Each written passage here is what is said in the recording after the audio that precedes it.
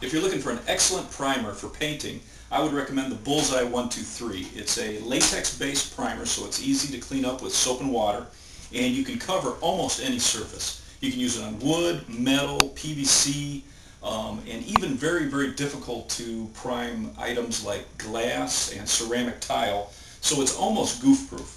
The only place you wouldn't want to use the Bullseye 123 would be on like a water stain. If you had a leak in your roof, the minerals in water are very difficult for the Bullseye to cover. That would be more like a shellac or an oil-based primer for that. But everything else, you can use the Bullseye 123. Even in areas like a kitchen or bathroom where there's high humidity, the Bullseye 123 does a great job. So if you're looking for a goof-proof, easy-to-apply primer, I would suggest the Bullseye 123.